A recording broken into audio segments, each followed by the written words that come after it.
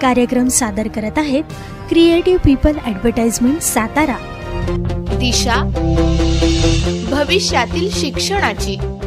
श्रोते नमस्कार. दिशा भविष्यातील शिक्षणाची या मालिकेत आपलं स्वागत. आपण जाणून घेतोय मुलांचं शिक्षण आणि त्यांच्या भविष्यातील करिअरबाबत वाई येथील दिशा अकॅडमीचे संचालक प्राध्यापक डॉक्टर नितीन कदम यांच्याकडून. मागील भागात आपण एक्झॅक्टली परीक्षेच्या अगोदरच्या काही दिवसांबद्दल बोललो होतो. आता काही लास्ट फ्यू डेज आहेत एक्झामचे शेवटचे दहा दिवस राहिलेत. आणि ह्या दहा दिवसामध्ये अभ्यास कसा करायचा याबद्दल खूप काळजीपूर्वक तुम्हाला सगळ्यांना विचार करावा लागेल.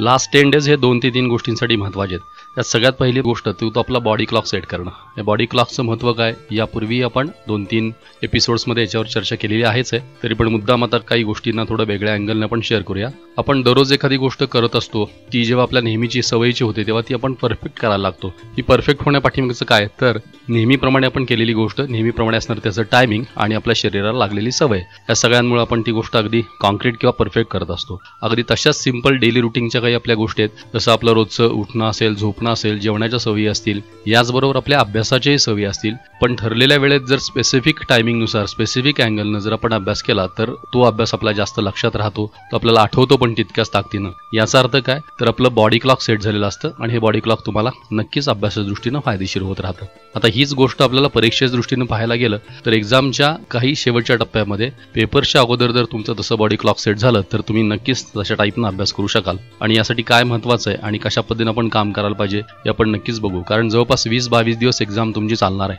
आणि वीस बावीस दिवसामध्ये तुम्ही सुरुवातीला असं बऱ्याच वेळा घडतं की पहिले तीन ते चार पेपर आपल्याला टायमिंग सेट करायला म्हणजेच बॉडी क्लॉक सेट करायला जातात आणि मग शेवटचे काही दिवस असतात हे पेपर्स मात्र आपल्याला सोपे जायला लागतात. याचं स्पेसिफिक रिझन हेच आहे की सुरुवातीचा आपला बॉडी क्लॉक सेट न होणं. आता तो कसा बसवायचा कसा सेट करायचा याबद्दलच्या आपण काही डिटेल गोष्टी पाहणार आहोतच. जसं याच्या मागच्या कारणांचा पण विचार आपण करत होतोच की का बॉडी क्लॉक सेट होणे इम्पॉर्टंट आहे याच्यामध्ये नक्की काय फायदे होणार आहेत हे सुद्धा आपल्याला तितकंच बघता येईल. स्पेशली टायमिंगबद्दल आपण काही गोष्टींचं डिस्कशन केलं होतं की परीक्षा हे आपल्या अकरा ते एक किंवा अकरा ते दोन वेळेस असतात. पण आपण अभ्यास मात्र सकाळी आणि संध्याकाळी करतो. सकाळी सहा ते नऊ आणि रात्री सहा सात नंतर अकरा बारा वाजेपर्यंत अभ्यास करतो. एक्झॅक्टली अकरा ते एक किंवा अकरा ते दोन यावेळेस आपल्याला रिकॉल मेमरी आपली पुरेशी काम करत नाही किंवा इव्हन आपल्या ब्रेनला तशी सवयच नसते. म्हणजे अकरा ते एक किंवा अकरा ते दोन आठवणं अशी आपल्या ब्रेनची सवयच नसल्यामुळं त्याचाही थोडाफार इम्पॅक्ट हा आपल्या पेपरच्या रिकॉल प्रोसेसवर होत असतो. आणि म्हणून हा पाठ डोळ्यासमोर घेतला तर आपण हंड्रेड पर्सेंट त्याच टाईपनं अभ्यासाचं सेटअप बसवायला पाहिजे. कशा पद्धतीनं करायचं काय?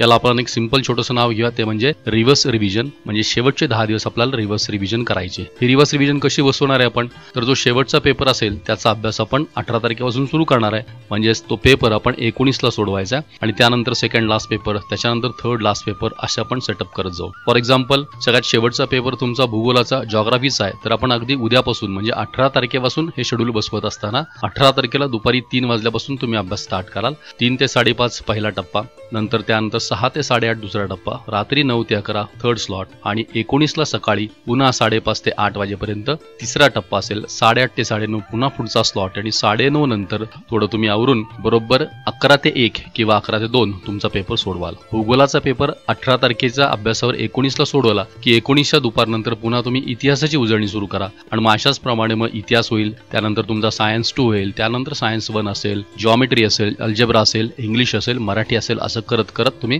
अठ्ठावीस तारखेपर्यंत रिव्हर्स रिव्हिजन तुमची बसवू शकाल. याच्यामध्ये सगळ्यात गोष्ट काय जपायचे तर अभ्यासाचे टायमिंग हलवायचे नाहीत म्हणजे सकाळी साडेपाच ते आठ हे पहिलं स्लॉट असेल साडेआठ ते साडेनऊ एक छोटीशी स्पीड रिव्हिजन असेल. त्यानंतर दुपारच्या वेळेस पेपरवरून आल्यानंतर तीन ते साडेपाच सहा ते साडेआठ आणि रात्री नऊ ते अकरा हे सगळे स्लॉट्स परफेक्ट तुमचे सगळे बसले पाहिजेत. त्याच्यात बिलकुलही कुठेही टायमिंग कुठलंही डिस्टर्ब करायचं नाही. हे खूप आणि खूप महत्वाचं असेल. अशा पद्धतीनं तुमच्या सगळ्या वेळा तुम्ही बसवत गेलात तर बरोबर बॉडी क्लॉक सेट होईल रिव्हर्स रिव्हिजन सेट होईल आणि तुम्ही तुमच्या बोर्ड एक्झामसाठी हंड्रेड पर्सेंट प्रिपेअर्ड असाल. आता एक शेवटची एक तासाची रिव्हिजन कशी करायची हे आपण पुढील भागात पाहूया. दिशा अकॅडमीच्या यशस्वी प्रवासात पंच्याऐंशी टक्के विद्यार्थ्यांना मिळाला आहे महाराष्ट्रातील टॉप इंजिनिअरिंग कॉलेजेसमध्ये प्रवेश. तर बेचाळीस टक्के विद्यार्थ्यांची एमबीबीएस आणि पंचवीस टक्के विद्यार्थ्यांची निवड बीडीएससाठी झाली आहे. या वर्षीच्या एम एच टी सीईटी आणि नीट दोन हजार एकोणीसच्या क्रॅश कोर्ससाठी ऍडमिशनची नोंदणी सुरू झाली आहे. त्यासाठी स्कॉलरशिप मिळवण्याची संधी देखील आहे. तेव्हा आजच नोंदणी करा. दिशाच्या या साठ दिवसांच्या क्रॅश कोर्सचं वैशिष्ट्य म्हणजे अनलिमिटेड ऑनलाईन मॉक टेस्टचं प्रॅक्टिस. अर्थात याचबरोबर दिशाच्या expert faculties perfect study material दररोज आठ तासांची तयारी हॉस्टेल सुविधा मेस माफक फी आणि मर्यादित जागा ही वैशिष्ट्ये आहेतच. रजिस्ट्रेशनसाठी दिशाच्या सातशे सत्याहत्तर पाचशे दोन चव्वेचाळीस एक्केचाळीस या क्रमांकावर जरूर संपर्क साधा. या मालिकेची निर्मिती केली आहे Shrinivas Dongre creative people advertisement Satara यांनी.